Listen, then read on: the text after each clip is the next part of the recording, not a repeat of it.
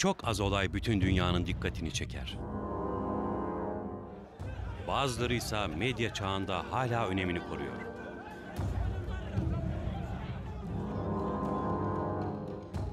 Orta Doğu'da onlarca yıldır hüküm süren adamlar birkaç gün içinde gitti.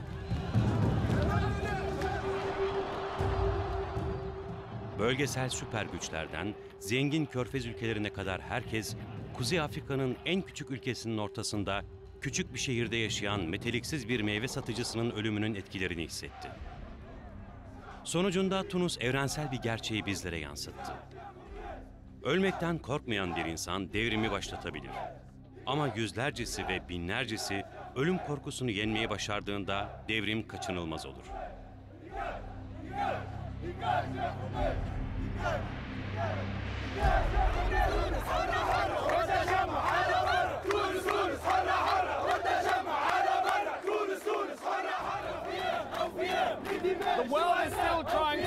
Dünya hala burada Tunus'taki devrimin gerçekten neyi temsil ettiğini anlamaya çalışıyor. Batılılar için bu liberal bir hareket olarak algılanırken Arap dünyası için kendi Çavuşeskularından kurtulma hareketi oldu. Nefret edilen bir diktatörden ve ailesinden kurtuluyorlar. Bu durum bölgedeki insanların bir araya geldiklerinde bir rejimi yıkabileceklerini kanıtlıyor. Ama Tunuslular için gerçek çok daha karmaşık. İnternet, Facebook ve Twitter onların lojistik destekleri oldu. Ama bunlar devrim değil. Bu rejim tıpkı bir kanser gibiydi. Tunus halkı silah sesine alışık değildi.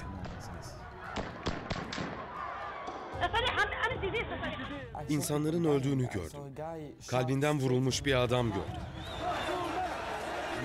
İnsanlarımızın, gençlerimizin çıplak elleriyle diktatöre karşı geldiğini ve onu devirdiğini görmekten gurur duyuyoruz.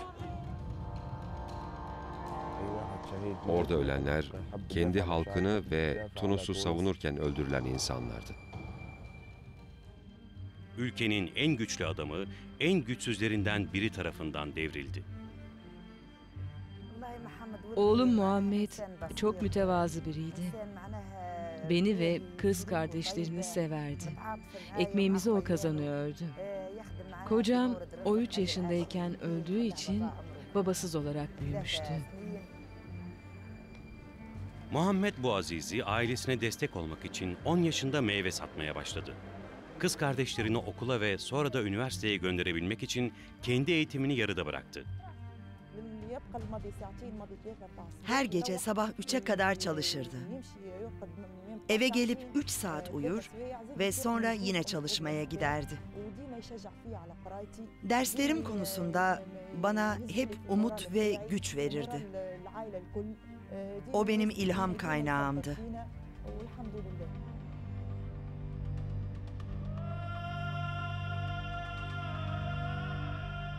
Muhammed Boazizi, ülkenin unutulmuş ve fakir bölgesi olan güneyde canına kıyan ilk genç adam değildi.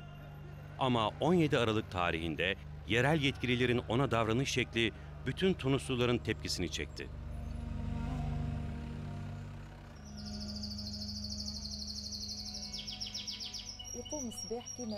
Her gün yaptığı gibi erken kalkmıştı. Toptancı pazarından arabasını meyveyle doldurmuştu. Kendisine ait bir yeri yoktu. Bu yüzden ana caddeye doğru yola çıkmıştı. Muhammed kalıcı bir dükkanda satış yapabilmek için belediyeye başvuruda bulunmuştu. Başvurusuna cevap gelmeyince doğruca başkanlık makamına gitmiş ancak yine yanıt alamamıştı. Bunun yerine rejim elinde olanı da aldı. 17 Aralık Cuma günü Muhammed, belediye memuru ve üç meslektaşı tarafından durduruldu. Muhammed'in arabasındaki meyvelere ve arkadaşından ödünç aldığı teraziye el koydular. Kız kardeşinin söylediğine göre kadın memur ölmüş babalarına hakaret etti. İşiyle ve ailesiyle alay etti ve ardından tüm dünyada yankı bulacak o darbeyi indirdi. Onun terazisini aldı. Geri almaya çalışırken kadın iki kez tokat attı. Muhammed derin bir şoka girdi. Gözleri yaşlarla doldu. Bir kadın ona tokat atmıştı. Bir kadın hem de herkesin gözü önünde. Sidi Buzit halkı polis ve yerel yetkililerin taleplerine alışıktı. Geleneksel raşva ya da rüşvet olmadan hiç kimse bir şey yapamazdı. Ama Muhammed'in el konulan terazisini geri alabilecek parası yoktu. Üç kez belediyeye giderek iadesi için başvuruda bulundu ve üçünde de geri çevrildi. Saat 11.30'da son kez geri geldi.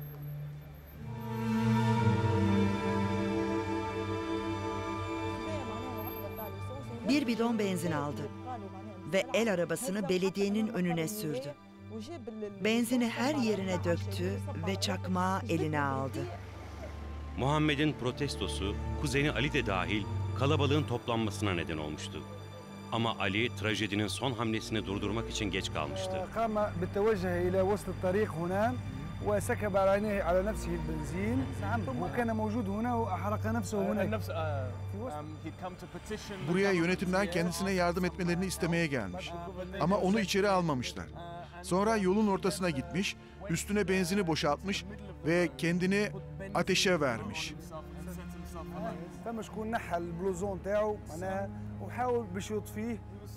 Söylediğine göre etraftakiler arasında ceketi olan bir adam varmış.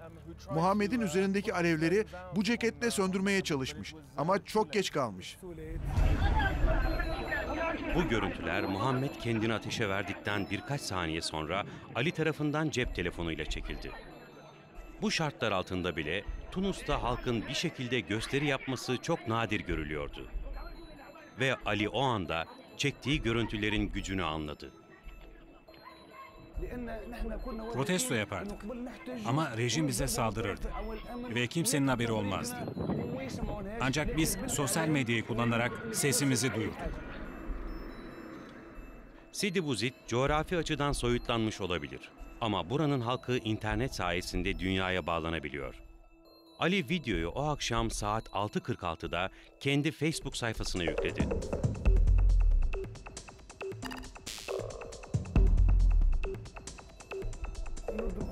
Bunu bir medya savaşı olarak görüyorduk. Dünya protestomuzu duymazsa o zaman hiç yapılmamış olacaktı. El Cezire'yi açtım. Ama hükümet bizi bir grup hain olarak tanımlamıştı. Gece çökerken Muhammed Boazizi'nin hikayesi ve arkasından başlayan isyanın görüntüleri internet sitelerinde bir alevlenmeye sebep oldu. Ve oradan da uluslararası uydu kanallarına sıçradı. Başkan Bin Ali, 27 yıllık hükümdarlıktan sonra ülkeye baskı yapma konusunda ustalaşmıştı. Hiç şüphesiz mesajları kontrol edip yollayanları yok ediyordu. 1956 yılında Fransa'dan bağımsızlığını ilan eden kuşağın hayalini kurduğu şey belki bu değildi. Ama yine de bu onların mirasıydı. Fransızların gidişinden beri neredeyse yarım yüzyıldır Tunus'u sadece iki adam yönetmişti ve ikisi de yönetimdeyken serbest bir seçim yapmamıştı. Ülkenin ilk başkanı gösterişli ancak dar görüşlü bir avukat olan Habib Bourguiba uzun yıllar boyunca Fransızlara karşı Tunusluların kendi liderlerini seçme hakkı için mücadele etmişti. Ama lider olunca demokrasi kavramı konusunda daha az konuşur olmuştu. İki Burgiba vardı. Reformcu ve yenilikçi. Dinle politikayı birbirinden ayırarak laik ve modern bir ülke yaratan bir Burgiba vardı. Kadın haklarına vurgu yapıyor, onların toplumdaki rolünden ve aile yasasından söz ediyordu. Ama bir de hiçbir eleştiriyi kabul etmeyen, güce karşı inanılmaz bir açlığı olan Tunusluları insanlığın döküntüsü olarak gören çok otoriter bir Burgiba vardı. 1975 yılında 19 yıllık hükümdarlıktan sonra ikinci Burgiba kontrolü eline aldı. Kendini ömür boyu başkan ilan etti. Uzun zamandır ortada olan bir gerçeği yasallaştırmıştı. Burgiba saltanatının sonu aynı bir geminin batışı gibi bir adamın batışıydı. Aynı dönemde İslamiyet yükselişteydi. Bu Cezayir'de olduğu gibi şiddete neden olan bir hareketti. Ancak Bourguiba, laik düşünce tarzına dayanarak bu hareketin herhangi bir üyesiyle pazarlığa oturmayı reddetti. Tüm İslamcıları terörist olarak gördü ve bu durum doğrudan 1980'lerdeki karşılıklı cepheleşmelere yol açtı. 1984'te Tunus'ta şiddet patlaması oldu. Güney şehri Kasarin'de Kızıl İsyan çıktı ve ülkenin tamamını sardı. Geride 50 ölü bıraktı. Burgiba etrafında güvenilir ve güçlü adamlar olması gerektiğini anladı. O zamanlar askeri güvenlik başkanı olan ve fazla tanınmayan Zeynel Abidin Bin Ali önce Ulusal Güvenlik Müdürlüğü'ne sonra da bakanlığına getirildi. Neden? Bourguiba yaşlanmıştı. Neredeyse bunamıştı. O zamanlar İçişleri Bakanlığı'nda çok güçlü birine ihtiyacı vardı. Yani düzen sorunu vardı. Bourguiba'nın biraz daha hüküm sürebilmesi için bu makamda böyle birine ihtiyacı vardı. İki yıl sonra Bin Ali İçişleri Bakanı yapıldı. O dönemde onu tanıyanlar için bile bu hızlı terfi sürpriz olmuştu. Bin Ali'nin aynı okuldan sınıf arkadaşı olan kişilere göre Bin Ali çok fazla konuşmazmış. Bütün geceyi burada sizinle ve herkesle beraber geçirir, üç kelimeden fazlasını söylemezmiş. Gülümsermiş, nazikmiş ama konuşmazmış, daima dinlermiş. Belki de işi gereği böyle yapıyordu. Sessiz adamı hafife alan sadece Burgiba değildi. Ekim 1987'de Bin Ali'yi başbakan yaptı. Bir ay sonra sessiz adam konuştu. 11 doktoru bir araya getirdi. Onlardan Burgiba'nın artık ülkeyi yönetebilecek sağlığa sahip olmadığını ilan eden belgeleri imzalamalarını istedi. Ve anayasa gereği başbakan cumhurbaşkanı oluyordu ve o da cumhurbaşkanı oldu. 30 yıllık tek parti yönetiminden sonra halkın sevinci sınırsızdı. Bin Ali'nin 7 Kasım'daki halk hareketinin ilk işi Burgiba'nın yönetimini dağıtmak oldu. Bugünden itibaren adaletsizlik yok. Ömür boyu başkanlık yok. Tek partili devlet ya da politik baskı unsuru yok dedi. Bu konuşmayı çok ciddiye alanlardan biri de bendim. 8 Kasım'da başbakanlık makamına gittiğinde genç bir kız ona şöyle seslendi. Yahya bin Ali, çok yaşa. Kızın yanına gidip Yahya bin Ali deme, Yahya Tunus de. Tunus çok yaşa dedi. Ve bu çok olağanüstü bir şeydi. İnanılmaz bir şeydi. Burgiba 12 yıl daha yaşadı. Hala birçok kişi tarafından hatırlanan Burgiba öldüğü zaman oluşumunu sağladığı ülkede birkaç diplomatın katıldığı bir törenle gömüldü. Ama Tunus halkı için yeni başkanlarıyla balayı kısa olacaktı. Belirtileri fark etmemek imkansızdı. Burgiba'nın yeni partisi Demokratik Anayasal Birlik Partisi adını aldı. Tıpkı Fransız isimdaşı gibi RCD olarak anıldı. Bin Ali'nin sözünü verdiği politik özgürlükler de kısa ömürlü oldu. Burgiba döneminden serbest bırakılanlar kısa süre sonra yeniden hapse atıldılar. Güvenimize ihanet edilmişti. Çünkü kısa sürede yeni bir diktatörün doğuşuna tanıklık etmiştik. Onun da yeni bir yolsuzluk kabinesi vardı. Politik kariyerim sadece 3 yıl sürdü. O gün yeniden hapse gönderildim. Ömür boyu başkanlık pozisyonu resmen kaldırılmıştı. Ama Bin Ali prensibin devam etmesini sağladı. Anayasayı değiştirerek defalarca kez üst üste görevde kalmasını sağladı. Tunus'ta bir kuşak Bin Ali'nin dikkatli bakışları altında büyümek zorunda kaldı. Gazeteciler, televizyon ve radyo sürekli olarak Bin Ali'nin o gün ne yaptığını, Bin Ali'nin ne yapacağını, kiminle buluştuğunu anlatıyordu. Yani Tunus vatandaşları sanki Bin Ali ve ailesinin tanrı olduğu mükemmel bir dünyada yaşıyorlardı ve hiç kimsenin bir şeyin yanlış olduğunu söyleme hakkı yoktu. Artık gençler her şeyden bıkmışlardı. Her şeyimizi kaybetmiştik. Bazı insanlar geleceğinin ne olduğunu bilmiyordu. Tunus'ta kendileri için bir gelecek göremiyorlardı. Hepsi yurt dışına çıkmayı düşünüyordu. Güçlü devlet, muhalefet olmayışı, sınırlı ya da hiç olmayan basın. Bu bütün bölge için tanıdık bir durumdu. Ama diktatörlükte hayatta kalmak için dikkat çekmeleri gerekiyordu. Tunuslular için bu dikkat çekme genellikle yüksek seviyede eğitime dayanıyordu. Yolsuzlukları yazmanın hayalini kuruyorduk. Ama bu makaleleri nerede yayımlatabilirdik? Bütün bu olaylar iktidardaki aileyle bağlantılıydı. Ve bunları yayımlarsanız gazetenizin kapanmasına neden olurdunuz.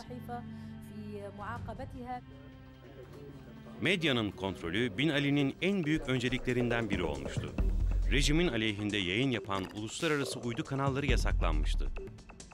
İnternet gelişiyle beraber çözülemez sorunlar yaratmaya başladı.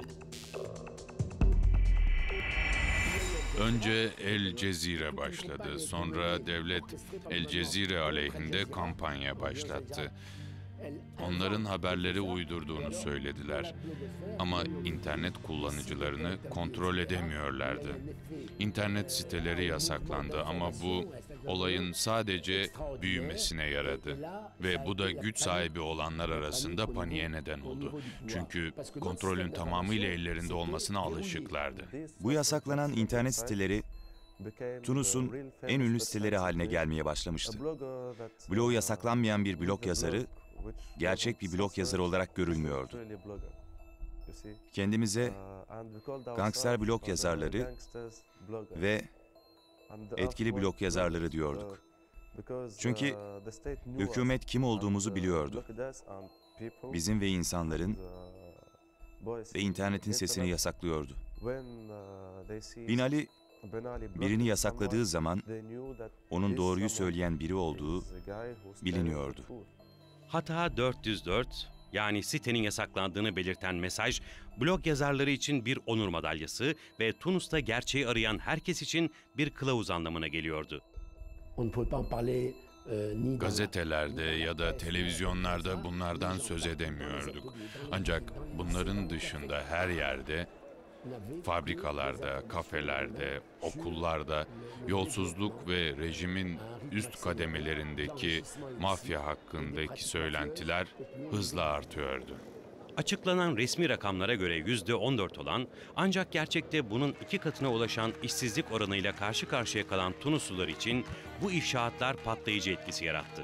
7 Kasım 2010'da Bin Ali'nin iktidara gelişinin yıl dönümünde Tunuslu rap şarkıcısı Hamada Bin Amur, namı diğer El General, başkana açık bir mesaj yolladı.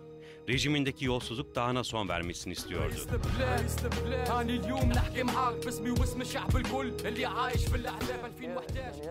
Sayın Cumhurbaşkanı'na bir mesaj anlamına gelen Reyes Leblet isimli şarkımı yayınladım. Şarkıda insanların sorunları, rejim ve yöneticilerin despotlukları anlatılıyordu. Ülkeyi elimizden alanlara, bu halkı kurban haline getirenlere, kendi yetkileri sayesinde haksızlık yapanlara bir mesaj göndermek istedim. Zaten gergin olan ortamın üstüne bir de Wikileaks belgeleri geldi. Eski Amerikan Büyükelçisi Robert Godek'in gizli raporları yayımlandı. Bu raporlarda Bin Ali rejiminin hırsızlar yönetimi tarif ediliyordu. Wikileaks'in büyük önemi vardı. Çünkü dünyaya her gün neyin içinde yaşadığımızı gösterdi. Ama bizim için Wikileaks neler olduğunu bilmek demekti. Halkın büyük çoğunluğu Bin Ali ve onun sisteminin Amerika'nın isteklerini yerine getirdiğine inanıyordu. Bu sızan belgeler sayesinde ülkeye ne olacağının başta Amerika'nın umrunda olmadığı ortaya çıktı. Ve Bu bizim için iyi bir haberdi. Birleşik Devletler hükümeti büyük ihtimalle Bin Ali'nin yüzüne farklı konuşuyordu. Bunu küçük bir mesele olarak görüyorlardı. Ama o dönemde rejimin içinde yüzdüğü sularda olaylar güçlü dalgalar oluşturuyordu. Üç faktör bir araya gelmişti. Toplumun memnuniyetsizliği, politik öfke ve halkın rejimin yolsuzluklarına tepkisi. Daha sonra blog dünyasında ve yeni medyada vurgulanan bu etkiler bir orman yangını gibi yayılmıştı.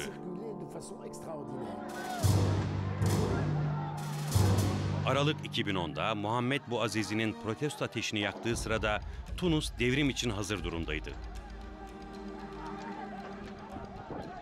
Muhammed Bouazizi, halkın bıkkınlığının ve öfkesinin sembolü haline gelmişti. Bunun farkındaydık ama işin bu boyutlara ulaşabileceğini tahmin edememiştik.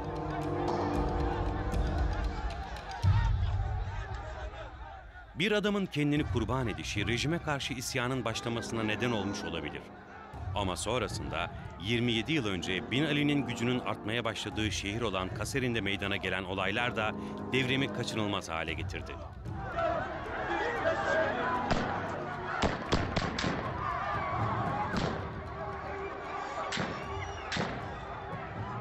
Kastarinli gençlerin keskin nişancılar tarafından öldürüldüğünü ve onların yerde yatan ölü bedenlerini aklımdan çıkaramıyorum.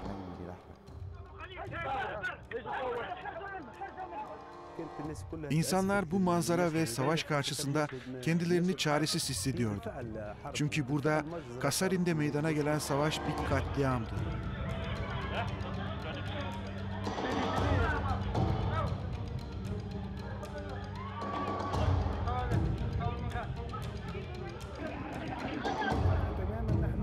Bir medya savaşı olarak görüyorduk.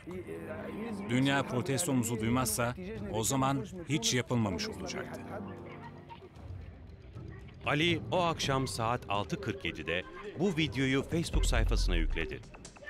Ekonomik zorluklarla, büyük bir işsizlik ve yozlaşmış bir rejimle yüz yüze olan ülkede Muhammed'in hikayesi yanlış olan her şeyin sembolüydü.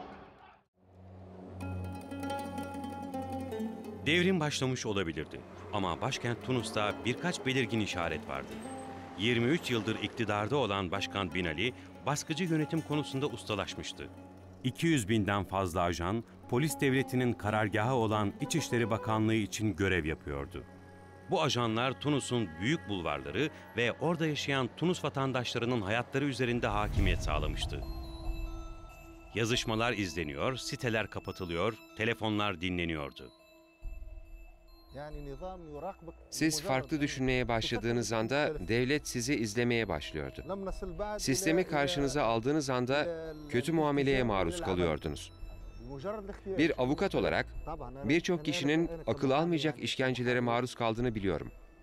İnsanlar yakıldı, dövüldü ve onlara elektrik verildi.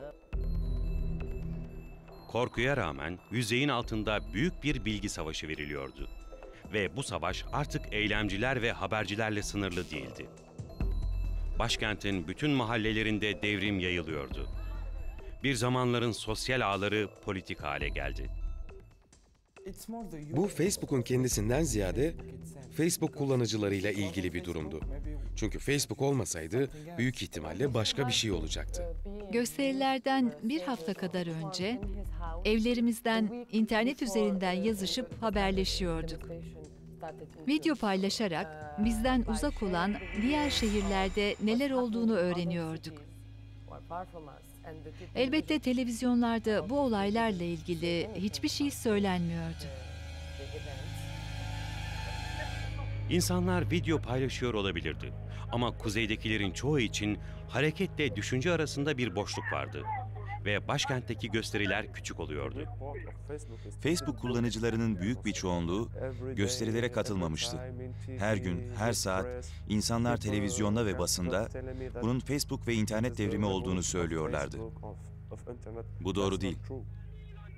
İnternet, Facebook ve Twitter lojistik destek sağlıyordu.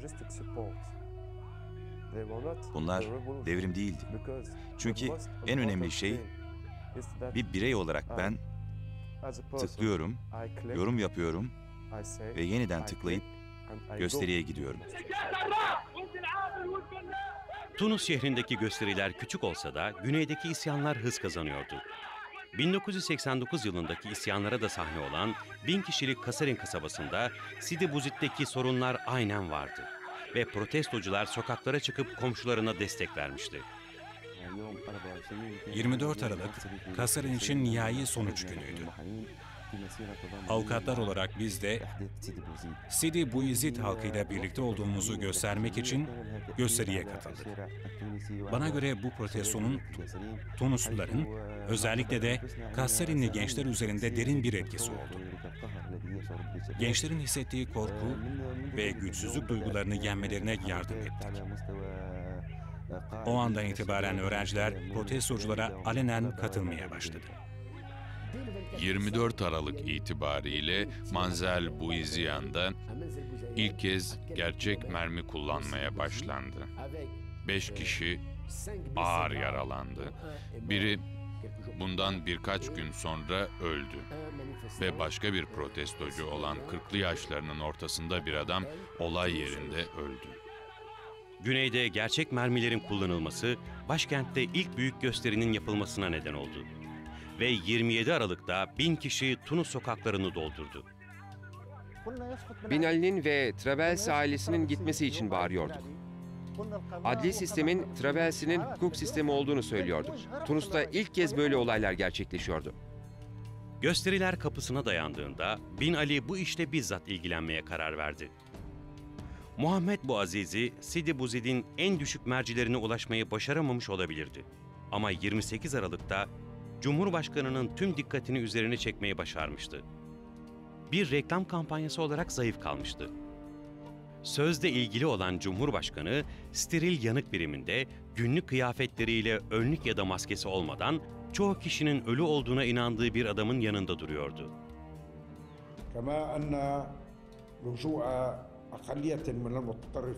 Bin Ali'nin birkaç saat sonra ülkeye seslenişi de yanlış anlaşılmalara yol açmıştı. Bin Ali ne ülkesini ne de halkını anlamıştı. Bizler kanun ve düzenin kefiliyiz. Bu olaylar iyi bilinen yerli hainlerle birlikte anarşi yaratmak isteyen yabancıların girişimleridir. Ve bunların hepsi El Cezire televizyon kanalı tarafından idare ediliyor dedi. Bize hakaret ediyor ve köpekmişiz gibi davranıyordu. O anda arkadaşlarıma bu ülkeden ya o ya da ben gideceğim dedim.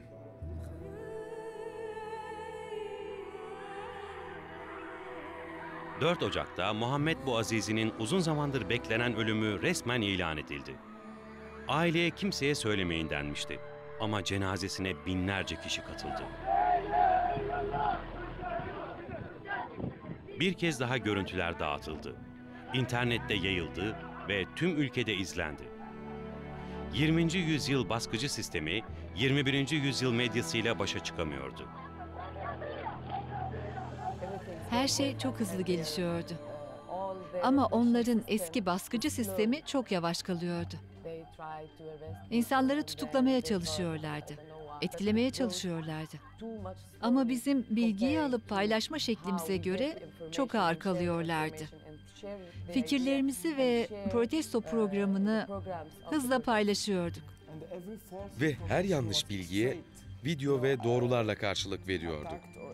Olayları düzgün şekilde açıklıyorduk. 6 Ocak'ta gizli polis gösterileri destekleyen kişileri gözaltına aldı. Bunlara Aziz gibi blog yazarları da dahildi. Sorular, sorular, sorular, sorular. Kötü muamele, korkunç davranışlar. Beni devletin internet sitelerine saldırıp bozmakla suçladılar. İçişleri Bakanlığı'ndan çıkarıldığımda 5 yıl yatmak üzere doğrudan hapishaneye götürülüyordu. Bin Ali insanların rejimi olan korkularını kaybetmeye başladığını anlamıştı. İnsanlara 23 yıldır nasıl iktidarda kaldığını hatırlatması gerektiğini biliyordu. Vereceği ders ve yaratacağı terör için seçtiği yer Kaserin'di. Burası ulusal güvenliğin başına getirilmeden önce bulunduğu şehirdi.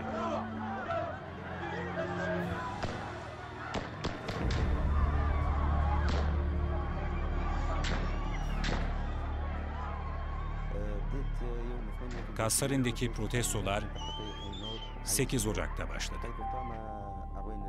Tunus polisi etrafımızı çevirdi. Bizi ayırdı. Gençler polise taş atmaya başladı. Akşam saat 9'da gerçek mermi seslerini duyduğumuzda çok korktuk.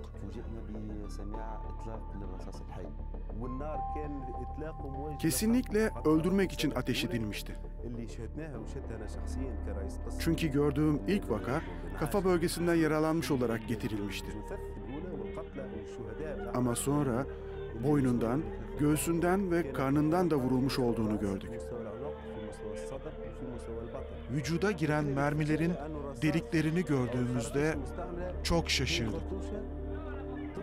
Çünkü çapları yarım santim genişliğindeydi ama yara vücudun içinde genişliyordu. Göğsün, karnın, hatta kafanın içinde bile durum aynıydı. Korkunç hasara yol açıyordu. Hiç böyle bir şey görmemiştik. Özel kuvvetler olan keskin nişancı birimleri Kassarin'e Tunus polisi tarafından getirilmişti. Yüksek binaların olduğu yere konuşlanmışlardı. Kassarinli gençlerin keskin nişancılarca öldürüldüğünü görmek, onların yerde yatan cansız bedenlerini görmek çok korkunçtu. Rauf Buzili'nin görüntüsünü aklımdan çıkaramıyorum. Onu iyi tanırdım. Müvekkillerimden biriydi. Orada kendi kanının içinde yatıyordu. Gerekli ilaç desteği ya da ameliyathane bulamadık. Tek yapabildiğimiz sadece durup hastaları seyretmekti. Hepimiz kendimizi bu manzara ve savaş karşısında çaresiz hissediyorduk. Çünkü burada Kasarin'de meydana gelen savaş bir katliamdı. Tunus şehrinde insanlar güneydeki arkadaşlarının anlattıklarını korkuyla dinliyordu. İnsanlar bize telefon ederek silah seslerini dinletiyorlardı.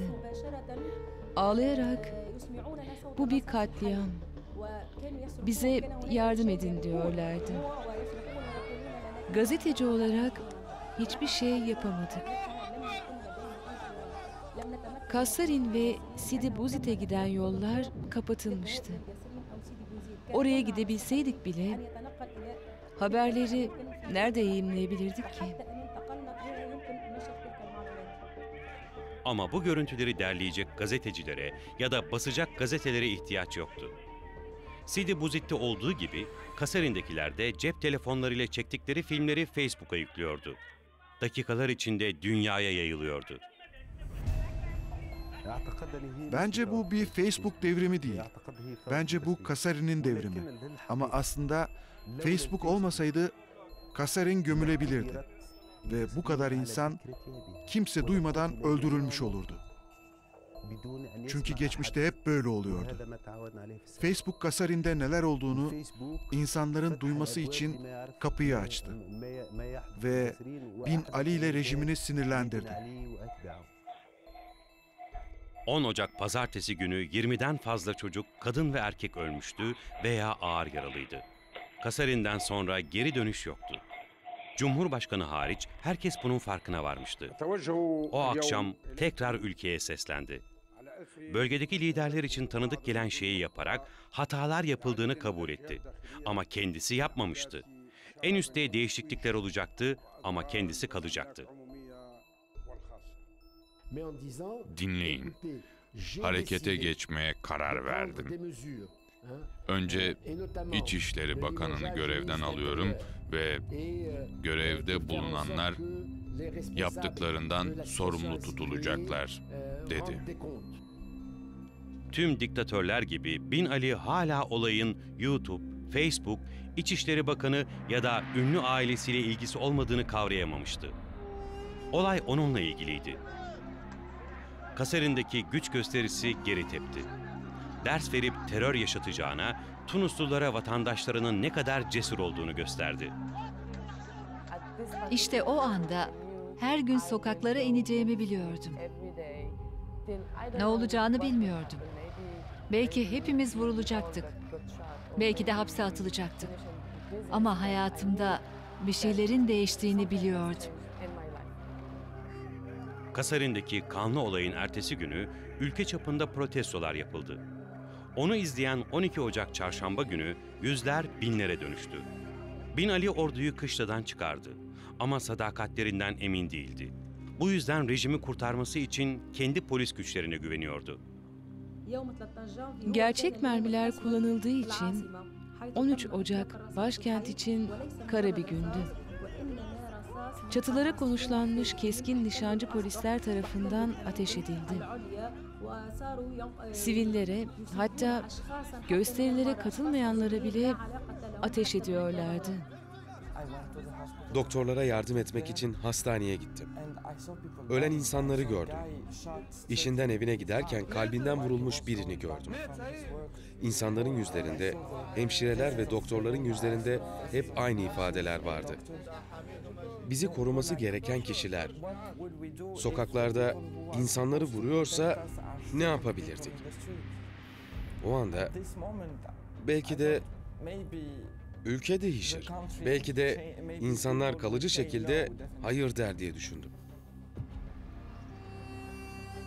Sadece Tunus'taki merkez hastanesine 28 ölü ve 100 yaralı getirildi. Protestoların yapıldığı ana meydandan uzakta bundan çok daha fazlası öldürüldü. İşten çıktığımda yüzlerce insanın gösteri yaptığını gördüm. Ben de onlara katıldım. Polis bize gaz ve coplarla saldırdı ve etrafımızı sardılar. Bir kişiyi kalbinden, diğerini bacaklarından vurdular. Birini gözünden vurduklarını duydum. O benim kardeşimdi. Bakamıyordum. Kuzenim vurulduğunu görmüş. Beni aradı ve onu hastaneye götürdük. Kardeşim gözlerimin önünde ölüyordu ve yapabileceğim hiçbir şey yoktu. 15 dakika sonra da öldü.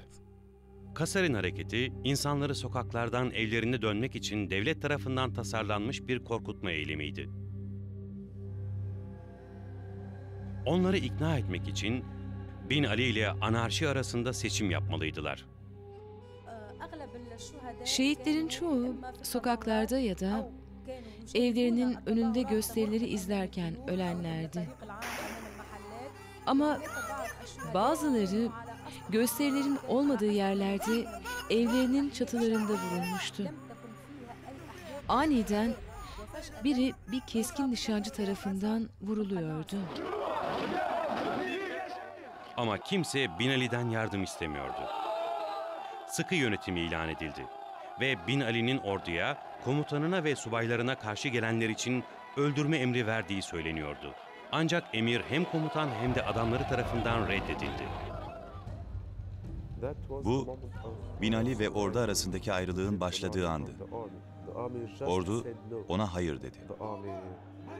Ordu işi savaşa götürmeye hazır değildi.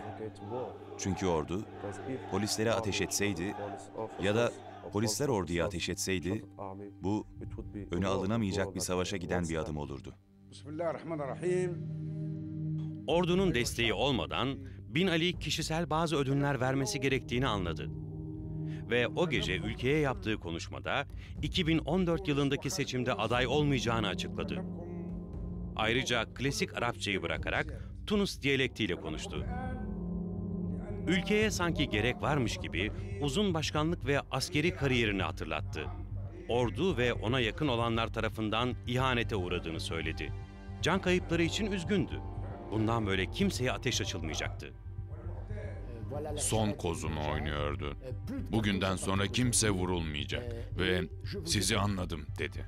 Ama çok geçti. Neyse ki. Bu olay gerçek dışıydı. İnsanlar sokakta ölüyordu. Silah sesleri duyuyorduk. Artık insanlara öyle davranmıyoruz. Ben sorumlu değilim. Ben yönetimde olduğum için herkes mutlu diyordu. 50 yıldan uzun süre iki başarılı diktatör yönetiminde yaşayan halk tüm korku duygusunu kaybetmişti.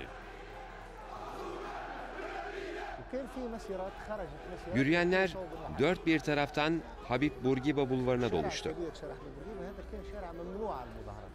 Ki burası protestocular için yasaktı. Ama 14 Ocak'ta bu yasağı kaldırmak için bir kararlılık vardı. Ve Habib Bourguiba'ya girdiler. Bu olay doğrudan İçişleri Bakanlığı'na ilerleyen 80 bin göstericiyle gerçekleşti. Burası rejimin baskısını sembolize ediyordu. Başkanlığın zindanları kötü muamele ve işkence yuvasıydı. İçişleri Bakanlığı'nın dışındaki protestolar rejimin sonunu getirdi. Politik mahkumlar serbest bırakıldı. Sokaklara döndüklerinde çok farklı bir şehir buldular. Akşam saat 5'te sokağa çıkma yasağı yine sokakları boşalttı. Ama ülke 14 Ocak Cuma günkü gibi olayları daha önce hiç görmemişti. 23 yıldan sonra çok az kişi Bin Ali'siz bir Tunus düşünebiliyordu. Bismillahirrahmanirrahim. Eyvel matinun, eyyetuhel matinat. Saat 7'de başkanlık açıklamasında farklı bir yüz görünüyordu. Bin Ali'nin başbakanı Muhammed Ganuşi, başkanın görevden çekilişini açıkladı.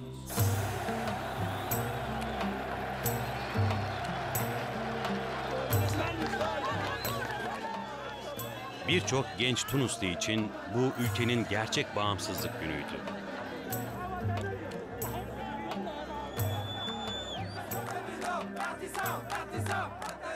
Elinizle kolunuzun üst tarafını sıkıca tutun. Elinizle sıkıştırdığınızda kanınız geçemez. 15 dakika sonra serbest bırakın. Kanın geçmesine izin verin. Ve bunu hissedin. O an hissedilen şey buydu. Bu özgürlükten çok daha fazlasıydı. Bence bu her insanın hayatı boyunca en az bir kere yaşaması gereken bir şey. Fransa'dan kazanılan bağımsızlığı hatırlayanlar da o zamankinden daha azını hissetmiyordu. İnsanlarımızın, gençlerimizin çıplak elleriyle diktatöre karşı geldiğini ve onu devirdiğini görmekten gurur duyuyoruz. Bazen bir rüyada olduğumu hissediyorum. İlerlemiş yaşıma rağmen böyle bir şey göreceğim aklıma gelmezdi. Tunus'un geleceği tarihinde ilk kez tek bir adamın değil, bütün ülkenin ellerinde yatıyor.